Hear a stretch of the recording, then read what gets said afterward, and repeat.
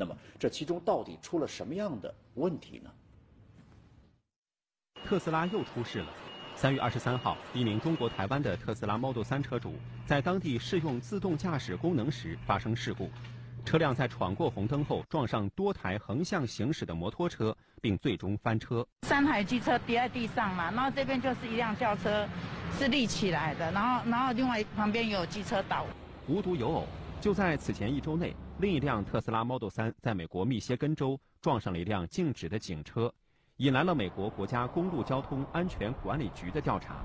Federal investigators are sending a team to Lansing after a Tesla on autopilot crashed into a state police vehicle. 三月十八号，美国国家公路交通安全管理局正式宣布，该机构已针对二十七起特斯拉自动驾驶系统的安全事故进行调查，其中至少有三起是最近数周内发生的。